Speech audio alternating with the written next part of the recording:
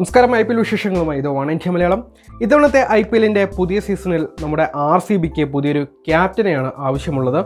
കോഹ്ലി ഇല്ലാത്ത R C B എന്നത് ചിന്തിക്കാൻ പോലും ആവത്തില്ല. രണ്ടായിരത്തി പതിമൂന്ന് മുതൽ ഒൻപത് വർഷങ്ങൾ അദ്ദേഹം ആർ സി ബിയുടെ നായകനായിരുന്നു. കോഹ്ലിക്ക് പകരം എബിഡി ആണെങ്കിൽ ഒരു കുഴപ്പമില്ലായിരുന്നു. കാരണം എബിഡിയും വരെ ആഹ് ഇത്തവണത്തെ സീസണിലെ വലിയ നഷ്ടങ്ങളിൽ ഒന്നുകൂടിയാണ് മിസ്റ്റർ ത്രീ സിക്സ്റ്റിയുടെ ആ ഒരു ബാറ്റിംഗ് അത് മിസ്സാകാൻ പോവുകയാണ്. മേഘാലയത്തിൽ ഓസ്ട്രേലിയൻ സൂപ്പർ താരം ഡേവിഡ് വാർണർ അതുപോലെ തന്നെ ഇന്ത്യയുടെ യുവതാരം ശ്രേയസ് അയ്യർ എന്നിവരെല്ലാം ആർ സി ബി ക്യാപ്റ്റൻ സ്ഥാനത്തേക്ക് കൊണ്ടുവരുവാൻ സാധ്യതയുള്ള കളിക്കാരാണ്. എന്നാൽ കോഹ്ലിക്ക് പകരമാകുമോ ഇവർ എന്നതാണ് ഒരു വലിയൊരു ചോദ്യം. അതൊരു ചോദ്യചിഹ്നം തന്നെയാണ്. കോഹ്ലിയെ തന്നെ വീണ്ടും ക്യാപ്റ്റൻ സ്ഥാനത്തേക്ക് തിരിച്ചു കൊണ്ടുവരുന്നതിനെക്കുറിച്ച് ആർ സി ബിക്ക് ശരിക്കും ആലോചിക്കാവുന്നതാണ്. ഞങ്ങൾ ഫാൻസുകാർക്കും അതാണ് സന്തോഷം. കോഹ്ലി തന്നെ ആർ സി ബിയുടെ ക്യാപ്റ്റനായിട്ട് ഇരിക്കുന്നതന്നെയാണ് ഏറ്റവും വലിയ സന്തോഷം നൽകുന്ന ഒരു കാര്യം. എന്തായാലും പുതിയ സീസണിലും കോഹ്ലി തന്നെ ആർ സി ബി ക്യാപ്റ്റൻ ആവണമെന്നത് പറയാനുള്ള കുറച്ച് കാരണങ്ങളുണ്ട്.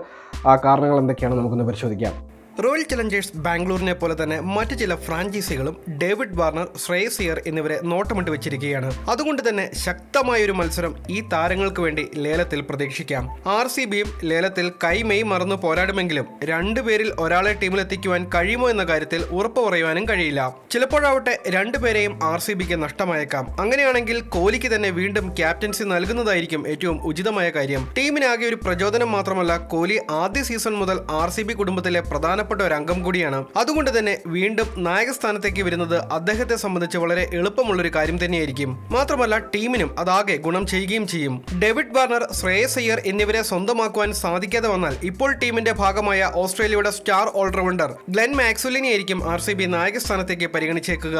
പക്ഷേ ഈ ഒരു നീക്കം പ്രതീക്ഷിച്ച ഫലം നൽകുവാനിടയില്ല. കാരണം സൗത്ത് ആഫ്രിക്കയുടെ ഇതിഹാസ താരം എബി ഡി വില്ലിയേഴ്സ് വിരമിച്ചതോടെ മാക്സ്വലിന് മേൽ ഉത്തരവാദിത്തം വർദ്ധിച്ചിരിക്കുകയാണ്. ഫിനിഷറുടെ റോൾ മാക്സ് ഏറ്റെടുക്കേണ്ടി വരും. അതിനിടെ ക്യാപ്റ്റൻസിയുടെ ഭാരം കൂടി പേറേണ്ടി വന്നാൽ അത് അദ്ദേഹത്തിന്റെ പ്രകടനത്തെ തന്നെ ബാധിക്കുവാൻ സാധ്യതയുണ്ട്. കഴിഞ്ഞ സീസണിൽ അദ്ദേഹം ആർ സി ബിക്കായി നാലാം നമ്പറിലായിരുന്നു ഇറങ്ങിയത്. ഈ റോളിൽ മാക്സിക്ക് ക്രീസിൽ നിലയുറപ്പിക്കാനും ഒടുവിൽ ഷോട്ടുകൾ കളിക്കാനുള്ള സമയം ലഭിച്ചിരുന്നു. പക്ഷേ ഫിനിഷർ ആവേണ്ടി വന്നാൽ അദ്ദേഹത്തിന് അധികം സമയം ലഭിക്കില്ല. ക്രീസിലെത്തി ഉടൻ തന്നെ ആഞ്ഞടിക്കേണ്ടി വരും. ഈ റോളിൽ എത്രത്തോളം മാക്സ് വിജയിക്കുമെന്ന് കണ്ടു തന്നെ അറിയണം. അതിനിടെ ക്യാപ്റ്റൻസി കൂടി നൽകിയാൽ അത് അമിത ഭാരമായി മാറുകയും ചെയ്യും. അതുകൊണ്ട് തന്നെ കോഹ്ലിക്ക് വീണ്ടും നായകന്റെ റോൾ നൽകിയാൽ ഈ വെല്ലുവിളിയും ആർ സി ബിക്ക് മറികടക്കാം. ഒമ്പത് സീസണുകൾ ആർ സി ബിയെ നയിച്ചിട്ടും കിരീടമില്ലാത്തതിനാൽ ഏറെ പഴികേട്ട ക്യാപ്റ്റൻ കൂടിയാണ് വിരാട് കോഹ്ലിയും. തന്നെ പരിഹസിച്ചവർക്ക് കിരീട വിജയത്തോടെ മറുപടി നൽകുവാൻ അദ്ദേഹത്തിന് നായക സ്ഥാനത്ത് തിരിച്ചെത്തിയാൽ അവസരം ലഭിക്കുകയും ചെയ്യും. നിലവിൽ ഇന്ത്യൻ ടീമിന്റെ എല്ലാ ക്യാപ്റ്റൻസിൽ നിന്നും കോഹ്ലി പൂർണമായി ഒഴിഞ്ഞിരിക്കുകയാണ്. അതുകൊണ്ട് തന്നെ ഇനി ആർ സി ബിയുടെ നായക സ്ഥാനത്തേക്ക് വന്നാൽ അദ്ദേഹത്തിന് ഐ പി എൽ കിരീടത്തിൽ മാത്രം ശ്രദ്ധ കേന്ദ്രീകരിക്കുവാൻ സാധിക്കും. ഇത് മാത്രമല്ല ഒരുപക്ഷെ ആർ സി ബിയെ ചാമ്പ്യന്മാരാക്കാനും അദ്ദേഹത്തിന് സഹായിച്ചേക്കുമെന്നും നമുക്ക് പ്രതീക്ഷിക്കാം. പക്ഷേ കോഹ്ലി ക്യാപ്റ്റൻ സ്ഥാനം ഏറ്റെടുക്കുമോ ഇല്ലയോ എന്നുള്ളതാണ് ഏറ്റവും വലിയ ചോദ്യം. വീണ്ടും റോയൽ ചലഞ്ചേഴ്സ് ബാംഗ്ലൂരിന്റെ ക്യാപ്റ്റനായി വിരാട് കോഹ്ലി തിരിച്ചു വരട്ടെ എന്ന് നമുക്ക് ആശംസിക്കാം.